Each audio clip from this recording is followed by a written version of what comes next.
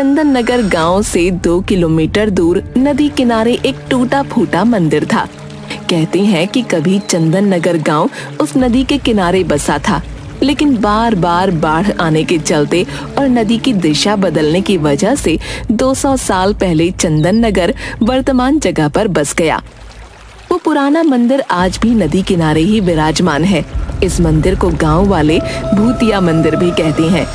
एक दिन बहुत तेज बारिश हो रही थी और बिजली भी चमक रही थी। गाँव का भुवन काम से लौट रहा था। उसके कुछ ही दूरी पर गाँव का नाई कनुआ कहीं से वापस लौट रहा था। अचानक से बिजली चमकी और मंदिर का घंटा बजने की आवाज़ आई। हे भगवान आज क्या अनर्थ होगा पता नहीं। सब सुख रखना। तभी घंटे की आवाज़ और तेज होती गई। और उसके सामने से कनुआ नाई उड़ता हुआ मंदिर की तरफ़ से गायब हो गया। नहीं ऐसा नहीं हो सकता। कनुआ चाचा! थोड़ी देर में बारिश रुक गई और भुवन भागता हुआ कनुआ के घर जा पहुँचा। चाची वो मंदिर वो मंदिर! बताओ रे भुवन को क्या हुआ? इतना घबराए हुए क्यों हो? सब मंगल तो है ना? नहीं चाची। कनुआ चाचा मंदिर के घंटे की आवाज़ में गायब हो गए। नहीं ऐसा नहीं हो सकता। कह तो कि झूठ है। मेरी आँखों के सामने चाचा मंदिर की तरफ़ उड़ते हुए चले गए। मुझे माफ़ कर दो चाची मैं कुछ नहीं कर सका। धीरज धरो बहू। अब इन गाँव वालों को सब पता नहीं किन पापों का फल मिल रहा है। पिताजी बहुत प्यास लगी है। एक बोतल पानी लाया था। वो दोपहर में ही खत्म हो गया था। जा नदी किनारे जाकर पी ले। क्या पिताजी डेढ़ किलोमीटर पानी पीने के लिए जाऊँ? क्यों ना हम अपने खेत में एक कुआँ खोद लें? मेरे सपने में भी आता है कि हमारे खेत में एक कुआँ है। चल चुपचाप अपना काम कर। जब देखो उल्टा पुल्टा बात करता रहता है आलसी कहीं का। डेढ़ किलोमीटर चलने के चलते इनको खेत में ही कुआँ चाहिए। अरे सपना में कुआँ दिखता है। कल आलू भी निकल रहा है। माँ भी आएगी। दो बोतल पानी भर लेना। माँ, देखो ना, बोतल से पानी खेत में गिर गया। प्यास लगी है। क्यों ना हम अपने खेत में कुआँ खोदें सचमुच मेरे सपने में दिखता है कि अपने खेत में कुआँ है। अब तो शाम हो ही गई है। घर जाकर पानी पी लेना बेटा। माँ मैं थोड़ा चेतन के पास जाऊँगा। तुम लोग घर चले जाना। मैं उससे मिलकर रात में घर लौटूँगा। रतन और सुनीता घर चले जाते हैं। बंकू अपने दोस्त चेतन से मिलने जाता है रात में घर पर। बेटी सुमति पिताजी को थोड़ा खाना दिया। रात के नौ बज गए हैं नहीं तो वो सो जाएँगे। पता नहीं ये बंकू कहाँ रह गया। लाओ माँ मैं दे देती हूँ। रतन के पास जाकर। पिताजी ये लीजिए आपका खाना। ठीक है बेटा लाओ। बंकू अभी घर लौटा या नहीं अभी तक? नहीं पापा बंकू भैया अभी तक नहीं आए हैं। तभी पुराने मंदिर के घंटे के बजने की आवाज़ आती है।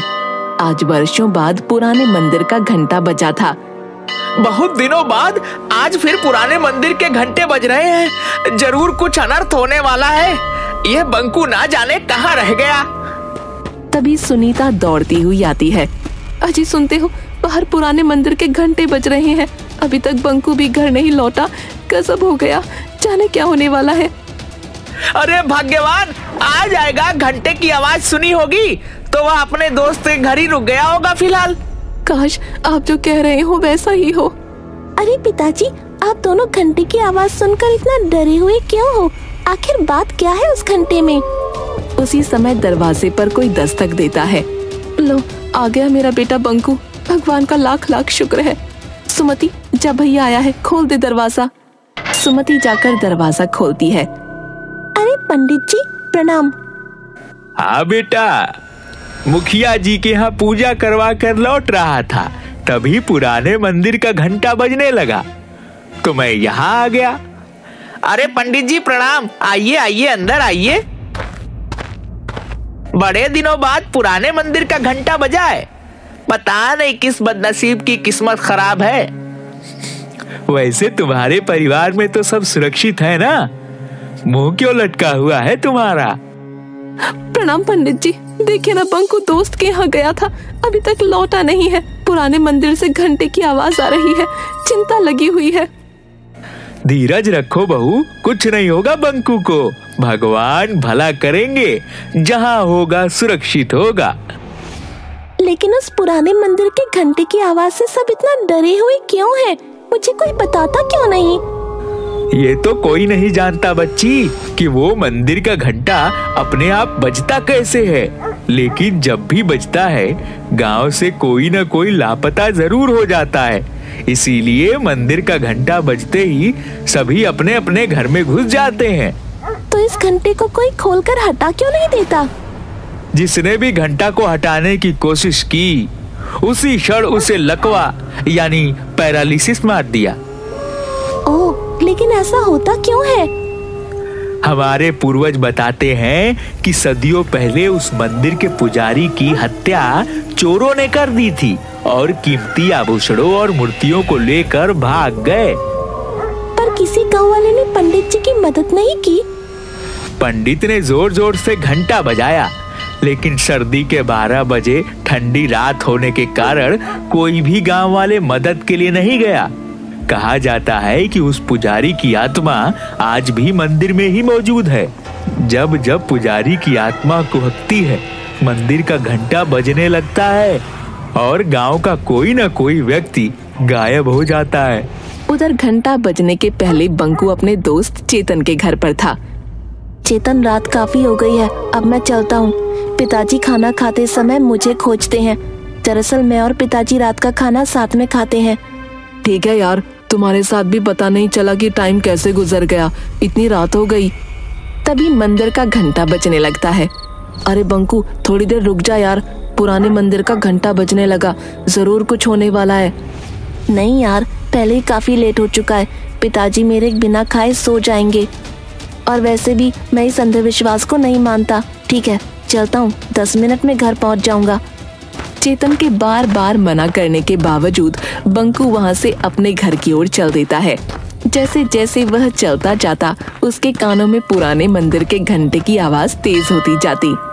घंटे की आवाज़ अब उसके कानों में इतनी तेज हो गई कि वो दोनों हाथों से कानों को ढक लेता है।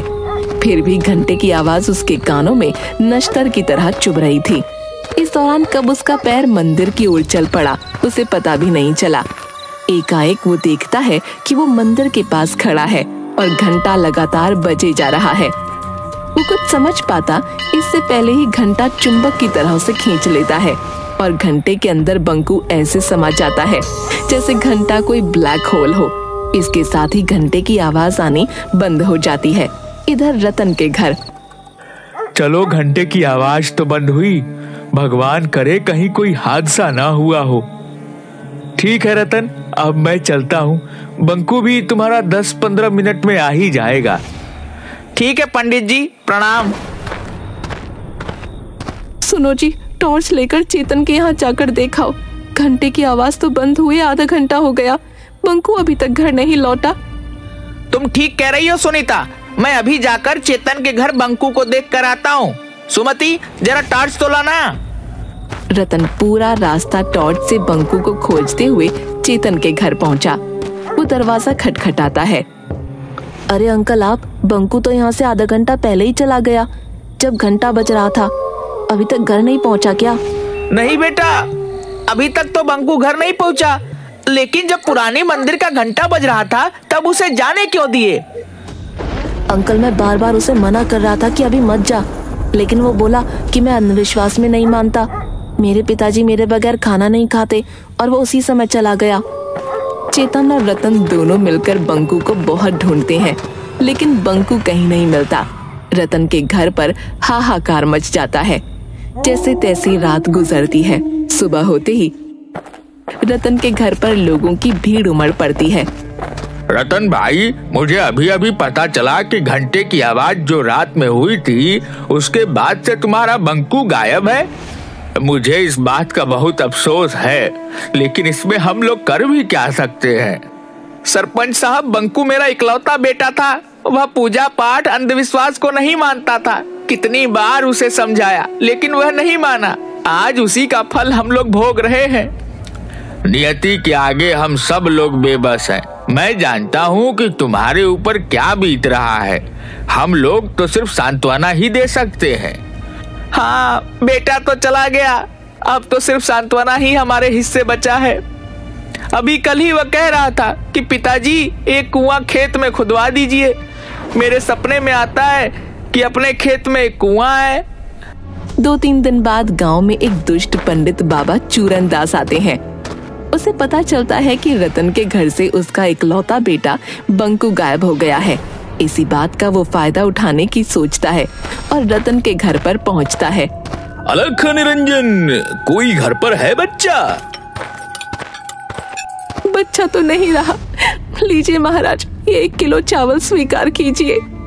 नहीं माता मैं भिक्षा मांगने नहीं आया। मुझे मालूम है कि तुम्हारा बच्चा पिछले दिनों गायब हो गया है। कोई बात नहीं हम उसे वापस लाएँगे। महाराज की जय हो। कोई भी उपाय करे महाराज कैसे भी मेरा बच्चा मुझसे मिलवा दे। नारायण नारायण तुम्हारा बच्चा तुम्हें ज़रूर मिलेगा माता। बस थोड़ा सा दान पुण्य करना होगा। घर में जितना भी सोना है उसका त्याग करना होगा। महाराज सोने जैसे बेटे के सामने ये नकली सोना किस काम का? मैं अभी आपको घर में रखा सारा सोना जेवर लाकर देती हूँ। सुनीता घर में रखा सारा सोने का गहना लाकर बाबा चूरन दास को दे देती है। ये लो बाबा, मेरे यहाँ जितने भी सोने के गहने थे, वो सब मैं ले आई। रुको कान में मेरी बाली भी ले लो, मुझे मेरे बेटे से मिलवा दो बाबा। अलख निरंजन, अब चलो, हमें पुरानी मंदिर चलना होगा। वहीं तुम्हारा बेटा तुमसे मिलेगा। बाबा चूरन दास सुनीता के परिवार को पुराने मंदिर की ओर ले चल पड़ते हैं। जल्दी ये बात पूरे गाँव में फैल जाती है। बाबा चूरन दास बंकू को वापस लाएँगे। जिनके बच्चे या परिवार का कोई सदस्य अभी तक गायब हुए थे सब अपने अपने घर के गहने लाकर बाबा चूरन दास के पास पहुँच जाते हैं। बाबा ये लो मेरे घर के सारे गहने हमारे बच्चे को वापस ले आओ। बाबा मेरा भी चाचा को वापस ला दो। ये लो गहने मेरे पिताजी को वापस ले आओ ये लो गहने। जल्द ही बाबा के पास सोने के आभूषणों का अंबार लग जाता है। आप लोग शांति बनाए रखें सभी को उसके परिजन मिल जाएँगे। अभी हम एक हवन करेंगे। चूरन दास मास्क पहनकर हवन में कुछ भस्म फेंकता है जिससे पूरे मंदिर परिसर में धुआँ फैल जाता है और धुएँ में सारे लोग बेहोश हो जाते हैं। चूरन दास फ़ौरन सारे जेवर समेट कर एक बोरे में भरकर भागने लगता है। तभी मंदिर में टंगे घंटे से एकाएक किरणें निकलती हैं और चूरन दास वहीं पर अपाहिज हो जाता है। थोड़ी देर बाद सभी को होश आता है। मुझे बचा लो कोई मुझे बचाओ मैं पूरी तरह अपाहिज हो चुका हूँ। मैंने तुम लोगों के साथ धोखा किया है। हे भगवान अब किसी के साथ धोखा नहीं करूँगा। दुष्ट पंडित तुम्हारी यही सजा है। तुमने कई लोगों के भावनाओं को धोखा दिया है। अब पड़े रहो यही। उधर सुनीता ने रात में कहा था कि उसके बेटे की आखिरी इच्छा खेत में कुआँ खुदवाने की थी। इसलिए रतन बंकू को याद कर खेत में कुआँ खोद रहा होता है। तभी उसे ज़मीन के अंदर से कुछ मूर्तियाँ और आभूषण मिलते हैं। वो इसकी खबर सरपंच और पंडित ज्ञानचंद को देता है। ज़रूर यह मूर्तियाँ वही पुराने मंदिर की है जो सैकड़ों साल पहले गायब हुए थे। शायद चोरों ने इसे यहाँ पर छुपा रखा था। अगर ऐसी बात है तो पंडित जी इन मूर्तियों को गंगा जल से धोकर फिर से वहीं स्थापित किया जाए। पंडित ज्ञानचंद उन मूर्तियों को फिर से पुराने मंदिर में प्रतिस्थापित करवा देता है। तभी ज़ोर से घंटे बजने लगते हैं। सभी लोगों में हाहाकार मच जाता है। क्योंकि सभी आज घर के बाहर मंदिर के पास खड़े थे तभी अचानक सुमति चिल्लाती है। अरे माँ देखो घंटे में से बंकू भैया निकल कर आ रही हैं। अरे ओ गिरधारी मेरे भाई बरसों पहले तुम बिछड़ गए थे। जय हो देवी माँ तेरी लीला अपरंपार है। अरे रामधन भी सभी लोग निकल रहे हैं। आप आ गए मुझे यकीन था आप आओगे। घंटे में से गायब हुए लोगों को निकलता हुआ सब देख रहे थे। किसी का बेटा, किसी की बहन, किसी के चाचा, किसी के दादा, सब लोग अपने परिजनों से मिलकर बहुत खुश थे। अरे मैं ठीक हो गया। जय हो बाबा, जय भगवान, तेरी महिमा तू ही जाने। चूरन दास भगवान ने तुझे नया जन्म दिया है, इसीलिए इस जन्म में तुम अच्छे कर्म करो। तुम इस मंदिर का देखभाल करो। यही भगवान का आदेश है। मैं जीवन भर इसी चौखट पर पड़ा रहूँगा। मुझे मोक्ष यही मिलेगा। शायद आज इस मंदिर के पुजारी की आत्मा को शांति मिला होगा। मंदिर में भगवान फिर से स्थापित हो चुके हैं। इस घटना को आज कई साल बीत गए, लेकिन फिर कभी मंदिर का घंटा नहीं बजा।